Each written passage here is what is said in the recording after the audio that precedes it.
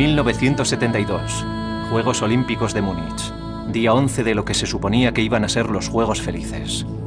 El terror llega al corazón de Europa. El mundo es testigo de la toma de rehenes por parte de un grupo terrorista. La operación de rescate resulta un desastre. 11 israelíes son asesinados. Los supervivientes deberán vivir con este trauma. Y el espíritu olímpico ha cambiado para siempre.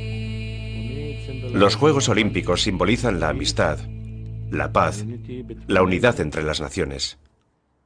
Y todo eso saltó por los aires, al menos en mi opinión.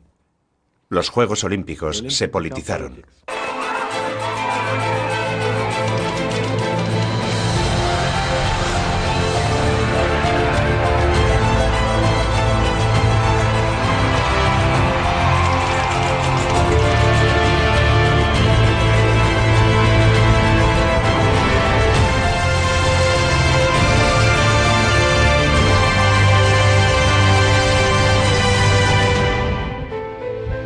Sobreviví a Múnich 72.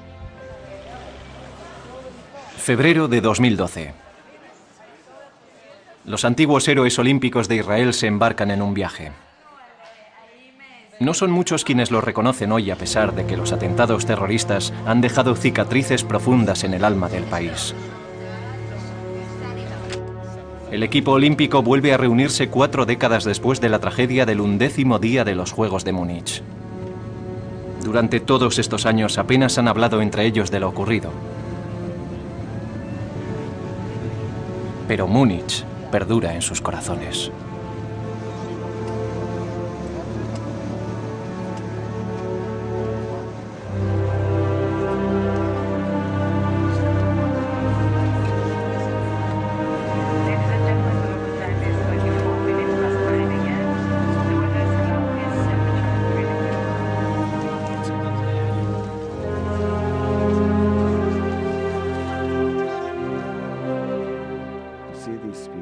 Sido fantástico volver a verles. Comparar sus rostros actuales con sus rasgos faciales de entonces y sus cuerpos más pesados de ahora con la versión atlética que recuerdo de ellos. ¿Tú eres Henry? ¿Qué te cuentas, viejo amigo? ¿Te has visto en el espejo? Hola, Henry. ¿Cómo estás? Nos hemos visto... Nos hemos visto... Un par de veces. Me había olvidado de que tú estabas en nuestra habitación. Dan Allen. Él estaba en mi habitación. Pensaba que estabas en la nuestra. La reunión ha llenado un gran vacío emocional. En 1972, el nadador Abraham Melamed era la principal baza olímpica israelí. Ya había competido en los Juegos Olímpicos de Tokio 64 y México 68.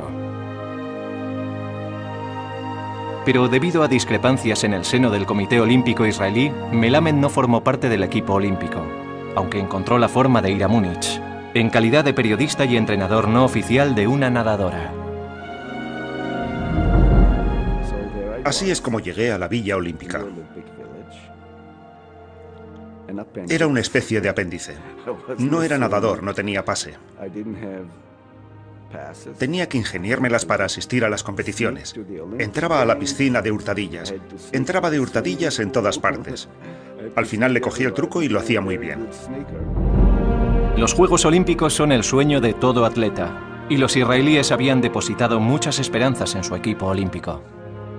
Recuerdo cuando en las entrevistas para la radio y la televisión israelíes, los periodistas me preguntaban cuál era mi objetivo, llegar a la final, a la semifinal, a los cuartos de final. Yo les decía que había ido a dar lo mejor de mí mismo. No podía prometer nada. Era feliz estando allí. Dan Alon llevaba 10 años siendo campeón de esgrima en Israel. Para él la esgrima es una tradición y los Juegos Olímpicos un asunto de familia. El sueño de mi padre era participar en unos Juegos Olímpicos. Y como él no lo consiguió, me prometí a mí mismo participar en unos Juegos.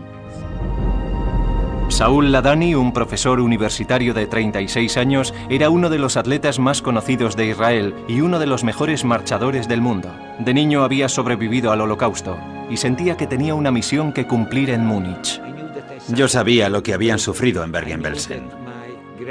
Sabía que cuando Eichmann llegó a Hungría, su policía detuvo a mis abuelos y a dos primos míos que murieron asesinados en Auschwitz.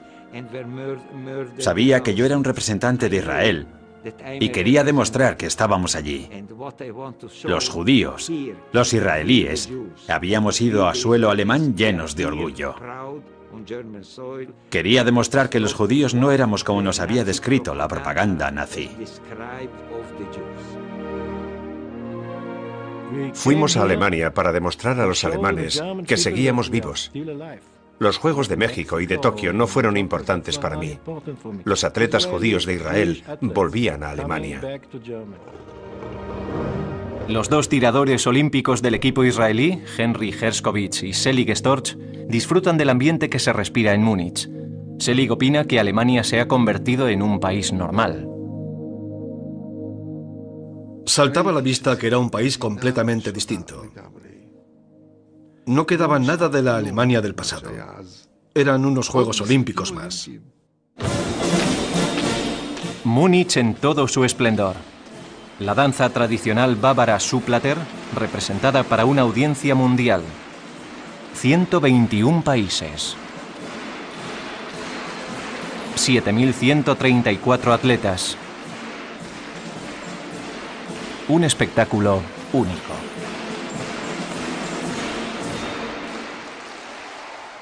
Recuerdo que nos reunimos delante del estadio. Todos éramos perfectamente conscientes de que estábamos representando a Israel y de que debíamos estar a la altura. Estábamos cerca del puente, esperando a entrar en el estadio, cuando oímos por la megafonía, es el turno de Israel. Y yo empecé a temblar. Empecé a temblar, literalmente.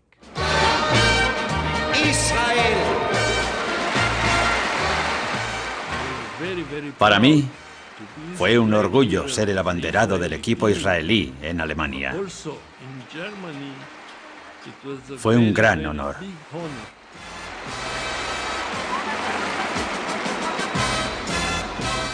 Cuando entramos al estadio, vimos, wow, que las gradas estaban abarrotadas. El ruido era ensordecedor. Fue algo impresionante. Oh, Dios mío. Fue algo increíble. Estaba viviendo mi sueño de participar en unos Juegos Olímpicos. Era la primera vez después del Holocausto que los israelíes desfilábamos en Alemania. Para mí fue algo impresionante. Recuerdo que yo desfilé junto a mi entrenador, André Spitzer, y estábamos llorando los dos, llorando de verdad.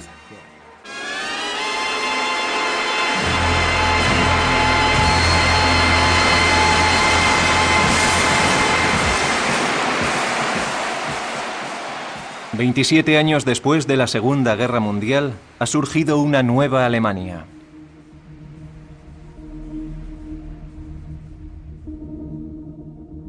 Y los Juegos Olímpicos son la ocasión perfecta para dejar atrás la terrible carga del Tercer Reich. Los Juegos se organizaron de manera que nada recordara a los Juegos nazis de Berlín de 1936. Se respiraba una atmósfera internacional. Había gente de todo el mundo. Yo jamás había conocido a tantas personas de partes tan diferentes del mundo. La Villa Olímpica, centro de reunión de países y culturas. Otra oportunidad para comportarse de forma completamente opuesta a lo que significó la etapa nazi. Nadie pensaba en el riesgo de un atentado terrorista. Amistad y confraternización en vez de fuertes medidas de seguridad. En la Villa Olímpica hablamos constantemente con deportistas sirios, con atletas libaneses. Yo me reuní con los egipcios antes de que Israel hiciera la paz con Egipto. Hablábamos de deporte. No hablamos de política con nadie. Recuerdo algo que dije entonces a mis compañeros. Ojalá los Juegos Olímpicos se celebraran todos los años y no cada cuatro años.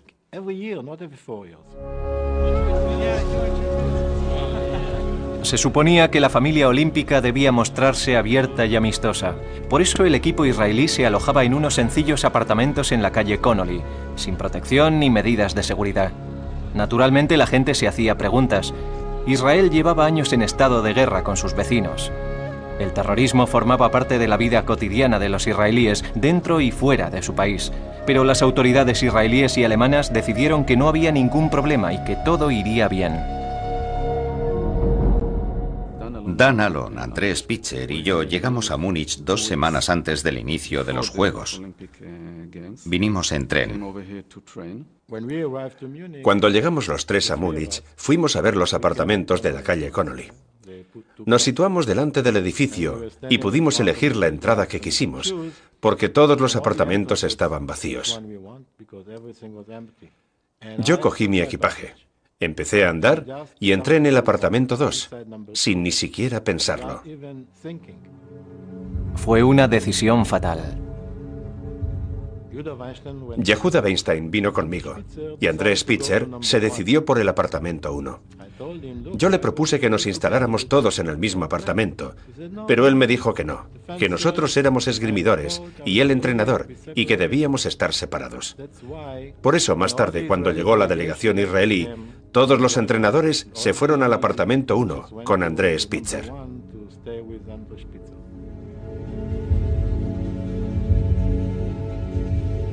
El cuartel general del equipo israelí durante los Juegos. Cinco apartamentos contiguos con vistas a la calle. El número uno lo ocupan los entrenadores y los jueces. El dos los equipos de esgrima, tiro y otros atletas. El tres los alterófilos y los luchadores. Y el 4 y el 5 los restantes miembros de la delegación israelí. Dan Alon estaba preocupado. Le pregunté a Andrés Pitzer, ¿qué me dices de esto? ¿Dónde están los tíos de seguridad? No hay nadie vigilando la entrada. No te preocupes, Dani, me dijo. Puede que hayan puesto a alguien vigilando en el tejado y no podamos verlo desde aquí.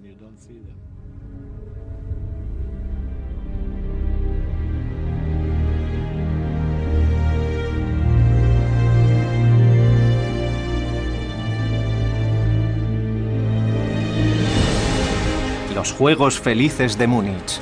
Durante 10 días todo transcurrió sin novedad. La atmósfera era maravillosa, el rendimiento de los atletas extraordinario, el sueño se había hecho realidad. Los juegos estaban perfectamente organizados. Todo funcionaba a la perfección. Solo había una cosa que me preocupaba. Y era que todo estaba abierto. En la Villa Olímpica entraba gente que no tenía ninguna relación con los Juegos. Uno de los muchos invitados inesperados fue un famoso actor israelí.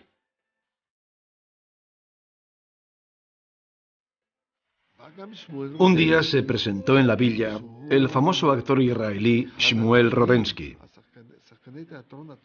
Y más tarde, mis compañeros me dijeron que Rodensky nos había invitado al teatro, a una representación de El violinista en el tejado.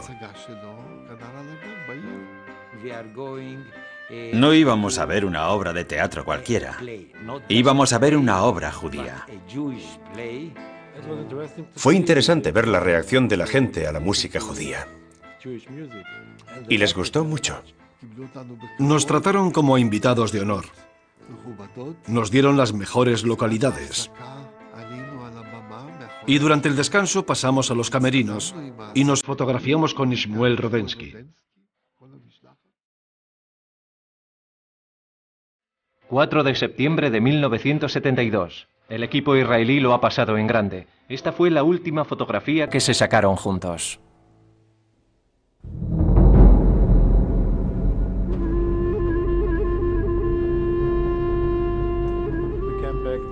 Regresamos a la Villa Olímpica poco después de las 11 de la noche.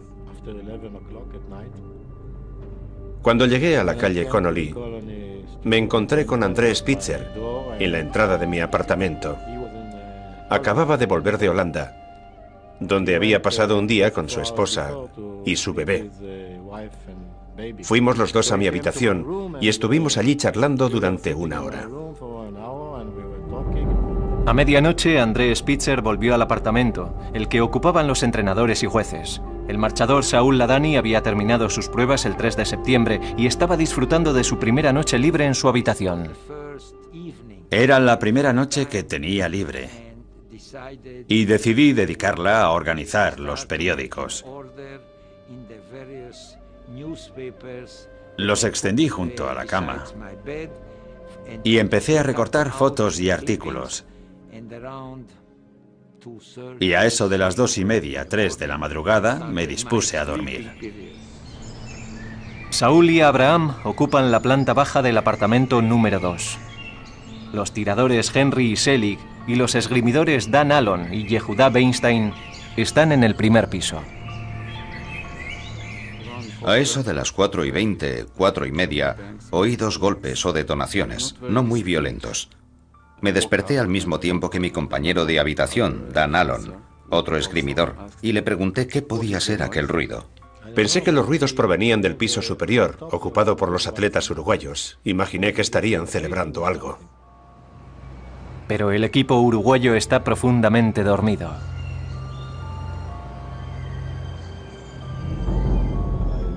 Me despertó lo que parecían ser disparos de ametralladora. Detonaciones, gritos, voces. Y luego silencio. En ese momento pasaron muchas cosas por mi cabeza. Pero principalmente pensé que aquello no podía ser lo que creía que era e intenté volver a dormirme. Los temores de Abraham resultaron ser fundados. A las cuatro y media de la mañana, un grupo de palestinos armados entró en el apartamento 1 ocupado por los entrenadores y los jueces. Inmediatamente tomaron seis rehenes y obligaron al entrenador de lucha Moshe Weinberg, que había resultado herido en el ataque, a que les guiara hasta el resto de los israelíes. Weinberg se saltó el apartamento número 2 y les llevó al 3, el de los luchadores y levantadores de peso. Probablemente pensó que serían capaces de ofrecer más resistencia, pero no pudieron hacer nada contra los Kalashnikovs de los terroristas. Entre los atletas se encuentra Gad Sabari, que es capturado. El líder de los terroristas, conocido como Isa, cree que tiene que haber más israelíes en el resto de los apartamentos. Se presentaron en el apartamento y nos secuestraron. Entonces, Isa, el líder de los palestinos, nos siguió escaleras abajo y nos preguntó dónde estaba el resto de los israelíes. Ellos ignoraban que todo el bloque de apartamentos estaba ocupado por israelíes.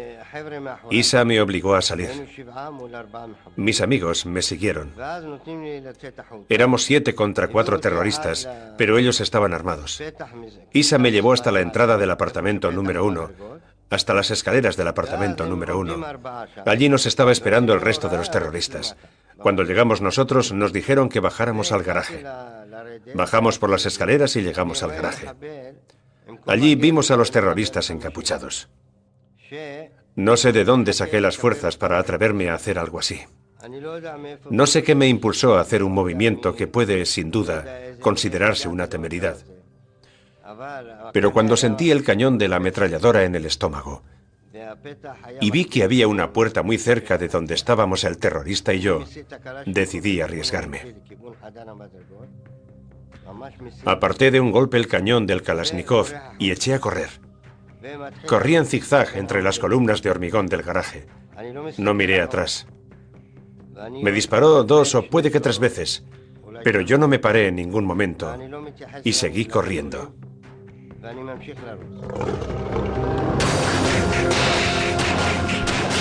Los disparos destinados a Gad Sabari despertaron a Selig Storch, el tirador que dormía en el apartamento 2. Pensé que estaba sufriendo una pesadilla. Oí un fuerte estrépito. No sabía de dónde procedía, pero me di cuenta de que estaba ocurriendo algo fuera de lo normal. Me asusté y me senté en el borde de la cama. Estaba pasando algo, pero no sabía qué. Fui a la ventana, miré al exterior y no vi a nadie. Poco después llegó un policía alemán. Solo llevaba un walkie-talkie en la mano. ¿Y vas los? me preguntó. ¿Qué pasa? Y yo le respondí, Ich weiß nicht. No lo sé. Entonces vi a Henry junto a la cortina y le pregunté qué pasaba. Él me dijo que había oído unos disparos que habían sonado muy cerca de allí. Yo estaba sentado en la cama. Y como ya no oíamos nada más, decidí salir a echar un vistazo. Así que me puse el chándal. Por suerte para mí elegí uno sencillo, sin nombres ni escudos en el pecho. Pero sí llevaba escrito el nombre de Israel en la espalda. Y salí a la calle. En ese momento los pistoleros tenían 11 rehenes en su poder. Estaban todos en el primer piso del apartamento 1. Los terroristas estaban nerviosos y querían establecer contacto con la policía. Entonces se abrió la puerta de entrada del apartamento número 1 y salió un hombre, un hombre delgado, vestido con un traje beige y un sombrero de paja. Se acercó a mí. Yo me preguntaba qué hacía aquel hombre allí a aquellas horas, porque sabía que no vivía en el edificio.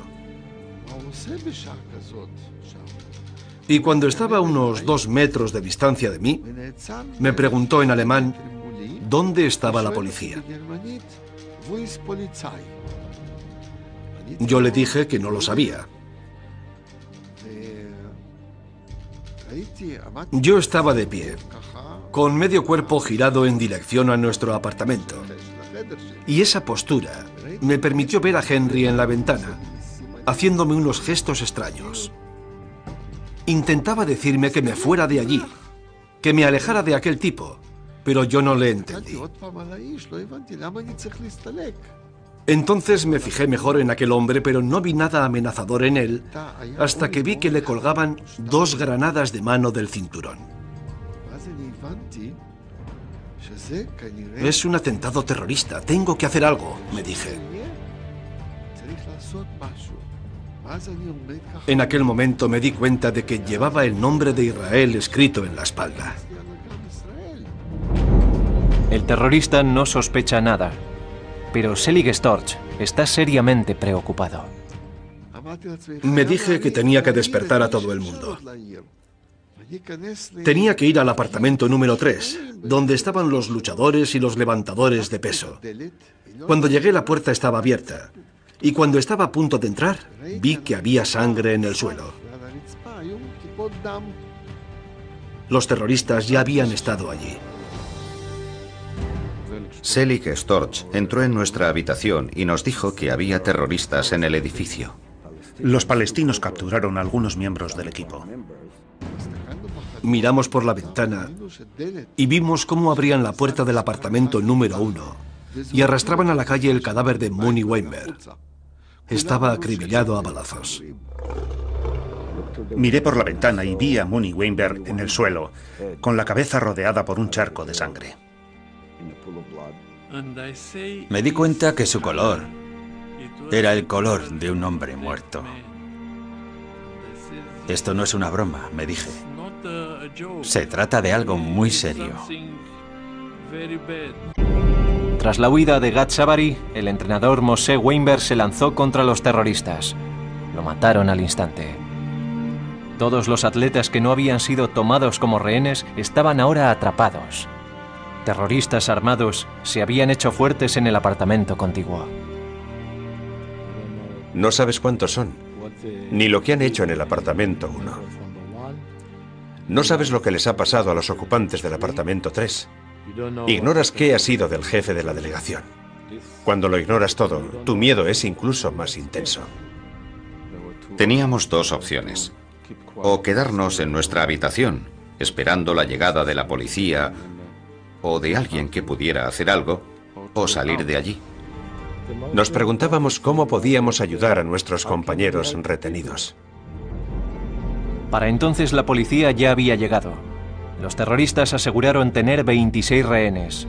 Ya habían matado a uno de ellos y otro estaba gravemente herido. Los hombres del apartamento 2 se reunieron en la habitación de los esgrimidores del segundo piso. Desde allí podían ver lo que ocurría en la calle. Le dije a Selig Storch o a Henry Herskovich Tú tienes un arma, dispárale. No sabes cuántos son. No sabes a cuántos israelíes han capturado. Es mejor que sean otras personas quienes entren en acción. Son árabes. Puede que también intenten venir a por nosotros. Salgamos de aquí. Tomaron una decisión. La única posibilidad que tenían de escapar era a través de la puerta trasera. Solo teníamos una opción, salir corriendo. Estaban asustados. Y con razón. Puede que yo fuera demasiado joven para comprender la complejidad o las consecuencias de la situación. Les dije, escuchad, no creo que debamos quedarnos aquí. No sé qué pensáis hacer vosotros, pero yo me largo de aquí. Abraham Melamed consigue llegar hasta la policía desplegada en la zona. Saúl le sigue poco después. Yehuda, Dam, Seli y Henry no saben aún que sus compañeros de la planta baja han conseguido escapar. Y dudan. Teníamos miedo de que hubiera alguien apostado en el balcón con un rifle. Respiré hondo y salí corriendo. No hubo ningún disparo. Pasé una o dos paredes divisorias y no sucedió nada. Había llegado mi turno. Cuando me estaba acercando al césped me detuve y me di la vuelta. Entonces vi a un hombre con el rostro cubierto en el tejado. Él me estaba mirando a mí y yo a él, pero no hizo ningún movimiento. Así que me di la vuelta y corrí hacia el lugar en el que me esperaba la policía alemana. La policía ha acordonado la calle Connolly. Isha, el líder del comando, exige la liberación de más de 200 presos de las cárceles israelíes y alemanas. El tirador Selig Storch sigue en el apartamento. Es el último israelí que queda dentro. Y entonces se le presenta su oportunidad. Isha, su líder, iba de un lado a otro constantemente, sin parar de hablar. Cargué mi arma y me dije, ahora podría matarle. El rifle no tenía mira telescópica pero no la hubiera necesitado. Estaba apenas 5 o 7 metros de mí. Me hubiera bastado con un disparo. Hubiera podido cambiar el curso de los acontecimientos. Desde la ventana, Selig puede oír a los terroristas negociar con las autoridades alemanas y está convencido de que llegarán a una solución pacífica, así que no dispara. Descargué el arma, me quité la chaqueta, envolví el rifle y lo escondí debajo del colchón. Selig es el último en escapar. 5 de septiembre de 1972, undécimo día de los Juegos. Los Juegos Felices han terminado. La Villa Olímpica se ha convertido en zona de guerra. Desde primeras horas de la mañana, un comando de terroristas palestinos ha tomado 10 rehenes israelíes, uno de los cuales está gravemente herido y ya han matado a uno. Ocho han conseguido escapar. Nos llevaron a la oficina principal de la entrada de la villa para practicar una investigación. Una investigación muy breve. Nadie sabía lo que estaba pasando. Se limitaron a decirnos que nos sentáramos allí. Nadie habló con nosotros. Nadie nos preguntó lo que había pasado. Creo que estaban intentando hacerse a la idea de lo ocurrido. Se mantenían expectantes. No intentaron liberar a los rehenes por la fuerza, porque no querían emprender una acción de esa naturaleza delante de miles de periodistas y cámaras de televisión.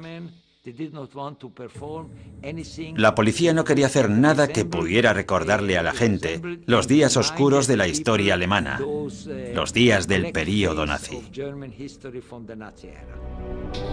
Los negociadores alemanes querían acelerar el desenlace e intentaron convencer a los terroristas para que se rindieran. Pero los pistoleros se mantuvieron firmes y amenazaron con empezar a matar a los rehenes. La calle Connolly de la Villa Olímpica se había convertido en centro de la atención mundial. No había ningún plan para intentar liberar por la fuerza a los rehenes. En aquel tiempo las autoridades alemanas carecían de una unidad antiterrorista especializada. ¿Por qué el gobierno alemán no permitió que Israel participara en la operación de rescate? Nosotros somos los mejores en ese tipo de operaciones. Nadie tiene más experiencia que nosotros. Aquello me pareció un insulto. Ellos no sabían cómo afrontar aquella situación. Y se negaron a pedir ayuda cuando era evidente que había muchas vidas en juego. Ya se habían cometido otros atentados terroristas, secuestros de aviones, asesinatos, atentados en aeropuertos. No era una acción fuera de contexto. Israel or the Israeli government will in any way uh, fulfill the demands of the uh, terrorists because by fulfilling it uh, you invite you you do nothing else but invite new terrorist actions and new demands. A las 4 de la tarde de ese día las competiciones olímpicas se suspendieron oficialmente pero la vida en otras zonas de la Villa Olímpica seguía su curso.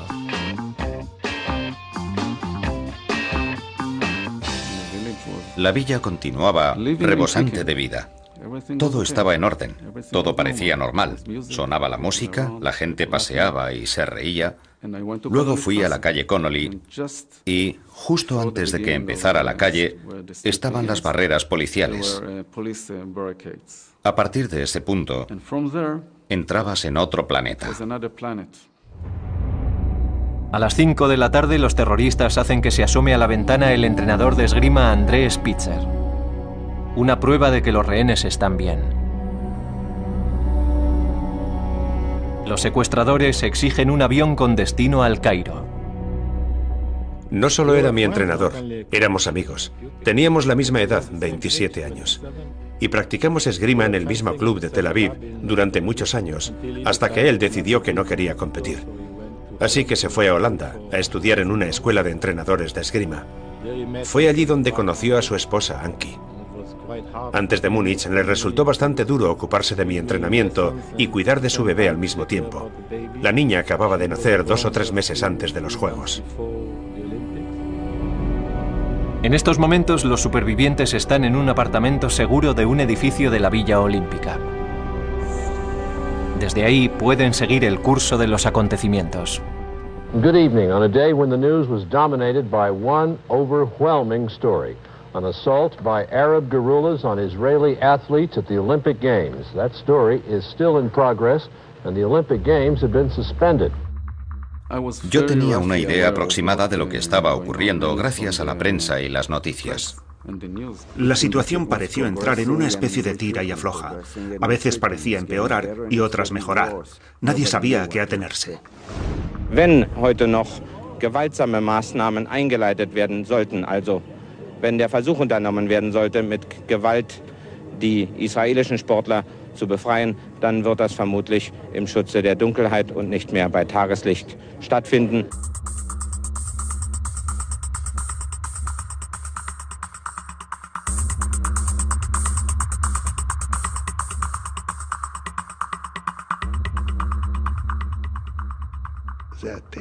Calculo que eran las nueve o diez de la noche cuando tuve noticia de que iban a preparar un avión para sacar del país a los terroristas y a los rehenes. Pero no se sabía a dónde. Los helicópteros tenían un punto de aterrizaje. Y nosotros estábamos a unos 50 metros de los helicópteros. Yo empecé a gritar y a llorar como un loco, como un loco. Ese era el único momento en el que los alemanes podían hacer algo, en el que podían intentar rescatar a los rehenes, antes de que subieran a los helicópteros. 5 de septiembre de 1972, 21 horas. Todas las negociaciones se han roto. La única opción que se baraja ahora es una operación militar. Llegan los helicópteros que sacarán de la Villa Olímpica a los terroristas y a sus nueve rehenes supervivientes. Los dos helicópteros que llevaban a nuestros amigos despegaron y desaparecieron en medio de un ruido ensordecedor. Lo peor que podía pasar estaba pasando. En cuanto despegaron los helicópteros me sentí muy pesimista. Tuve la sensación de que no volveríamos a verlos. Dije, Salom. Daba igual lo que dijéramos, daba igual lo que gritáramos, nos sentíamos impotentes. Nadie nos escuchó, nadie nos prestó atención. Some of the Arabs and some of the hostages were airlifted by helicopter out of Olympic Village and flown to a nearby military airfield. There, shooting broke out between police and the Arabs while the hostages stood by, bound and blindfolded. En esos momentos, Selig Storch regresaba a la calle Connolly. La policía protegía los apartamentos. Regresé a nuestros apartamentos cuando ya no quedaba ningún israelí. Vi mucha gente, atletas, curiosos. Toda la manzana estaba acordonada. Le dije a un policía que yo era uno de los atletas israelíes y me preguntó si podía identificar un cadáver. Entonces me llevó al apartamento número uno. Subimos y vi un cadáver en el suelo, cubierto con una manta, justo en la puerta de entrada. Retiraron la manta, pero no pude identificar el cadáver. Estaba tan pálido. Era el cadáver de Joseph Romano. Se desangró hasta morir delante de sus compañeros. Empezaron a circular rumores sobre el resultado de la operación de rescate. Uh, we have testimony now from a police officer in Munich. As we heard, the hostages have been freed. So in the end, the police won and the terrorists lost. There will be a memorial service tomorrow in Munich at the Olympic Stadium for the two Israelis who lost their lives today, and after that, presumably, the Olympics will be resumed. La alegría se desbordó. Empezamos a abrazarnos, a gritar, a chillar, a levantar los puños al cielo. Sentimos una gran alegría. Aquello superaba todas mis expectativas. Pero ninguno regresó. Los noticiarios no tenían nada nuevo que decir. A eso de las 3 de la madrugada se conoció la terrible verdad. Habían muerto todos los israelíes. Aeródromo de Fürstenfeldbruck. Escenario de la última batalla. La operación de rescate ha sido un completo fracaso. Los nueve rehenes israelíes han sido asesinados. Un agente de policía alemán y tres terroristas han muerto también en el tiroteo. Otros tres han sido detenidos.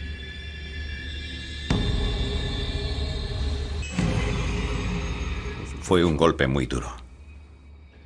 Porque en ese grupo todos teníamos a alguien a quien estábamos muy unidos. This athletes' village used to be a happy place, a bright, carefree design. Today, that seemed to be lost. Athletes of the village awoke to the tragic news and found the flags of 122 participating nations had been dropped to half-staff. El inicio de aquel año había sido fantástico para mí. Yo estaba en muy buena forma. Sabía que iba a responder muy bien en la competición. Estaba muy motivado y no me había sentido mejor en mi vida, tanto física como emocionalmente. El primer golpe lo recibí cuando no formé parte del equipo israelí.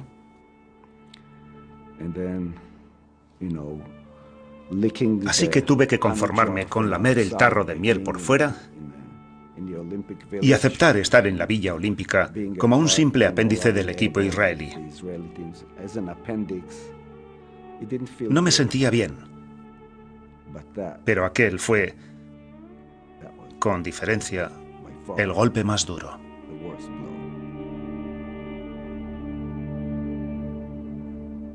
El más duro.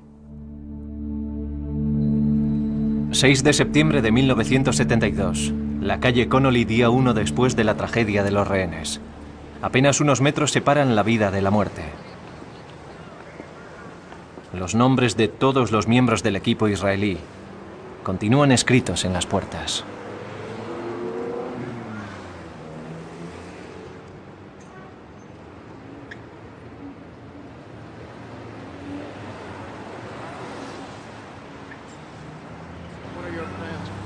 Right now we are uh, planning for the ceremony at the stadium and then uh, we'll have to make arrangement to go back to Israel. What is the reaction of, of those who survived to last night's tragedy? Well, right now I can't say anything more. I mean, uh, we've had enough for one night. El mismo día se celebró un servicio conmemorativo en el Estadio Olímpico en recuerdo de los atletas asesinados, al que asistieron 80.000 personas.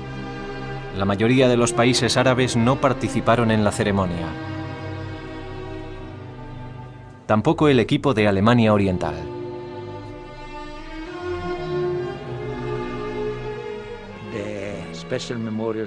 Fue una ceremonia muy emotiva para mí.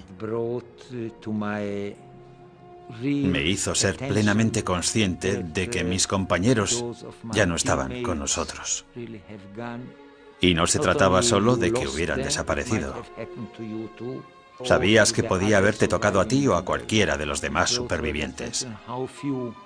La ceremonia me hizo ser consciente de que éramos muy pocos quienes quedábamos con vida y de cómo la vida puede terminar de una forma tan inesperada y violenta.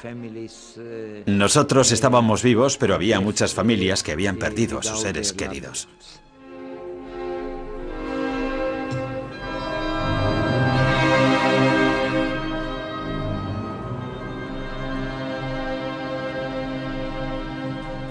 The games must go on, and we must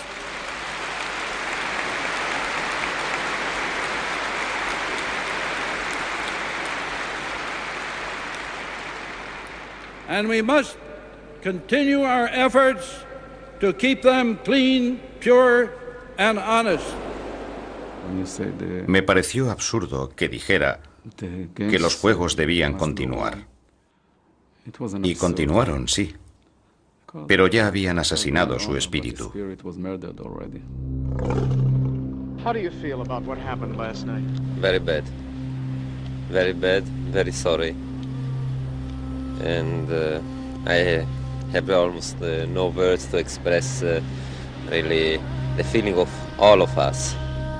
Los israelíes supervivientes esperan el avión que les llevará a casa. Su sueño olímpico ha terminado. Dan Alon tiene que regresar por última vez al apartamento número uno para recoger las pertenencias de André Spitzer. Fui con Anki Spitzer, que había venido expresamente desde Holanda. Nada más entrar en el edificio volví a salir y le dije a Anki que era mejor que no subiera. Le dije que me esperara abajo y que no subiera. Dan Alon saca algunas fotografías. Es un escenario horrible.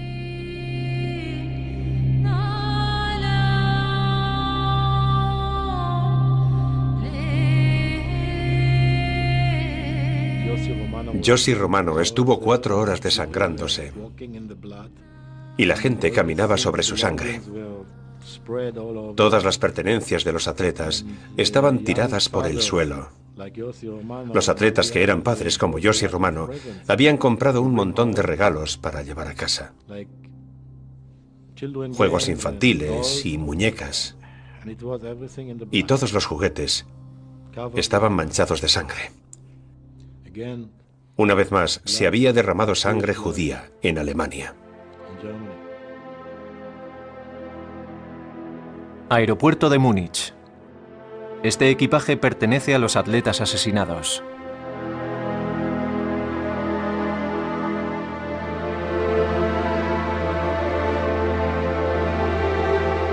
...7 de septiembre de 1972...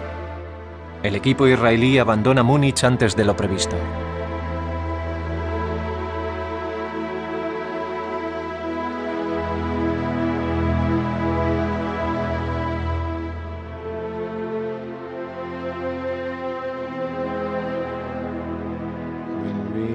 Regresamos a Israel con los ataúdes. Y uno de los momentos más tristes fue cuando abrieron las puertas del avión y vimos a la gente que nos estaba esperando.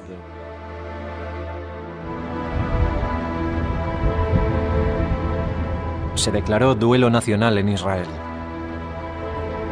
Todo el país quedó traumatizado.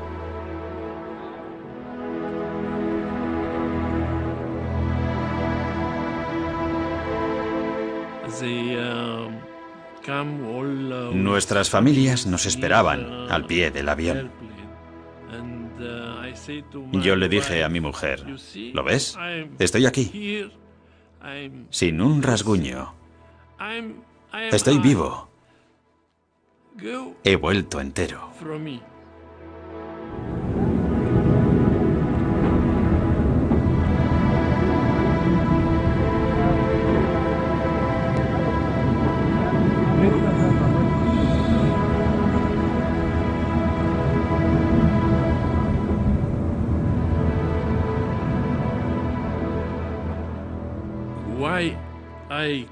¿Por qué yo estoy vivo?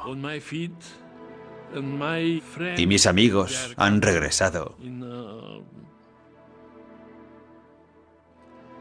en ataúdes. Los supervivientes acompañan a los muertos.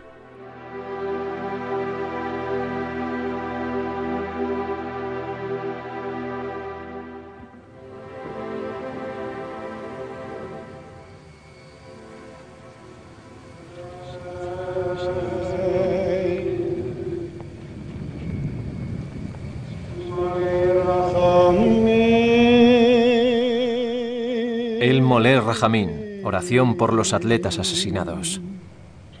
Dios, lleno de misericordia, que moras en las alturas, proporcionales un descanso eterno en las alas de la divina presencia. החללים הקדושים, חברי משלחת הספורט במינכן,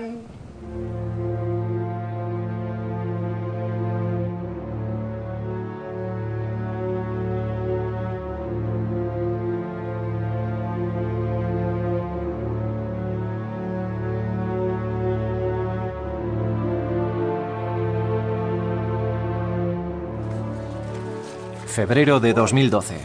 Los supervivientes regresan a Múnich.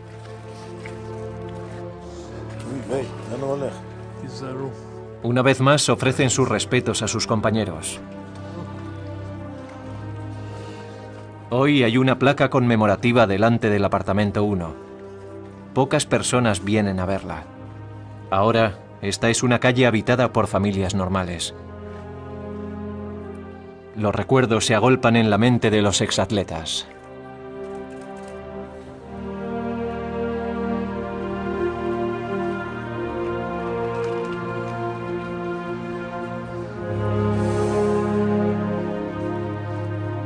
Ninguno olvidará nunca lo ocurrido en Múnich.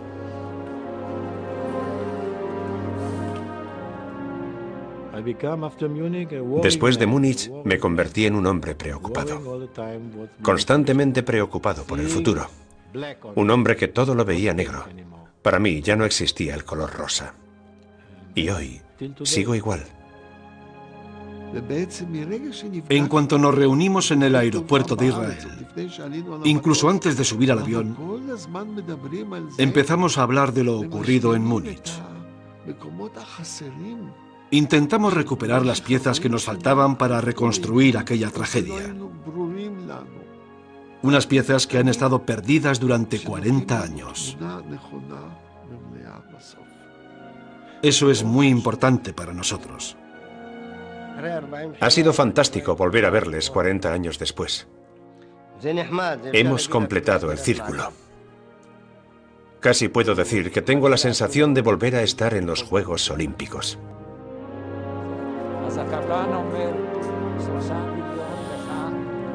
Una nueva oportunidad de volver a pisar el estadio olímpico. igual que hace 40 años.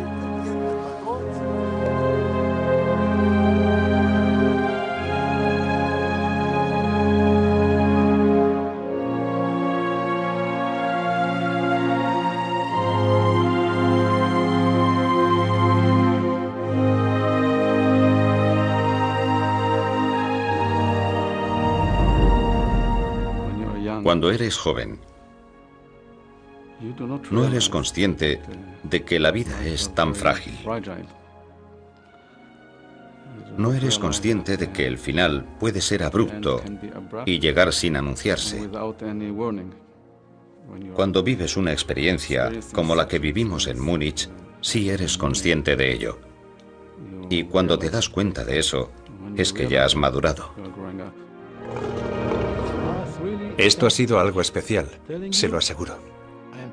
Estoy conmovido incluso mientras estoy hablando con usted. Es muy importante que los jóvenes de todo el mundo conozcan la verdad de lo ocurrido y que no lo olviden nunca.